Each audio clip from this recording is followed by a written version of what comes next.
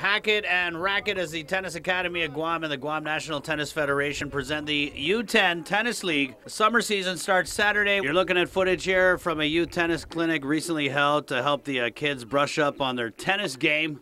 All right, interested players register with League Director Joe Cepeda before the start of the league summer season. That means you got just a couple days left here.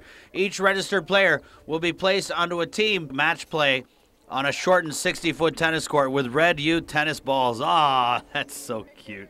To join the league or just ask about details, all right, or even private tennis lessons, call Cepeda at 988 7479 or email joe at tennisacademyguam.com.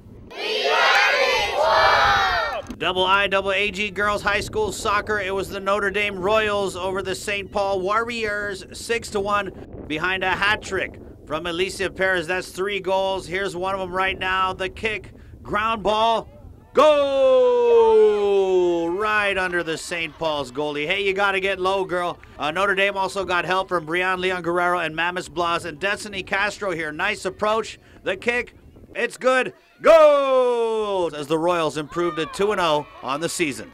In other high school soccer games, Simon Sanchez 2 1 over Harvest behind two goals in the second half from Paige Uggan, and the Academy Geckos game was postponed and will be made up at a later date.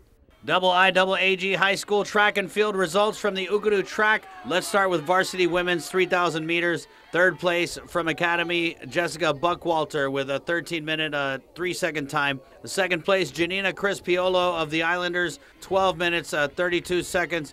First place goes to Guam High Alyssa Tatum. You see her here with Piolo as they were pretty close for most of the run.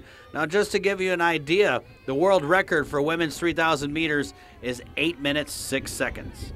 Varsity men's 110 meter hurdles, third place from Southern Michael Tapasnia, a second place Okkodo's John Olandez, and first place Johnny Kittigwa of the JFK Islanders. Kittigwa, of course, the hurdle standout, uh, left island for competition with a few other Islanders, so good luck to them. On to javelin now. Varsity men's fourth place, Juwan King of Guam High, 36.91 meters. Third place, Ian Valencia of the Sharks, 37.36 meters. Second place, Anthony Castro, also of the Sharks, 38.53 meters. And first place, Keith Charette of Guam High, 38.59 meters. Wow, boys, I couldn't even throw my Zori that far. Now more double I, double AG results. Carrera and Galaidi at Matapang Beach. That's paddling for the Chamorro impaired.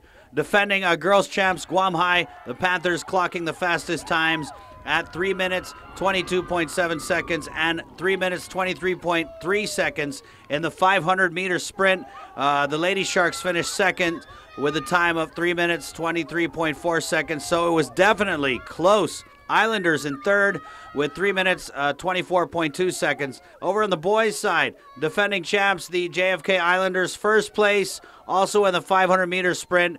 2 minutes 42.5 seconds, a full 5 seconds better than second place Sanchez, who clocked in at 2 minutes 47.9 seconds, with the Bulldogs taking third with a 249 time. In the mixed division, Guam High took first, JFK second, and FD Academy third.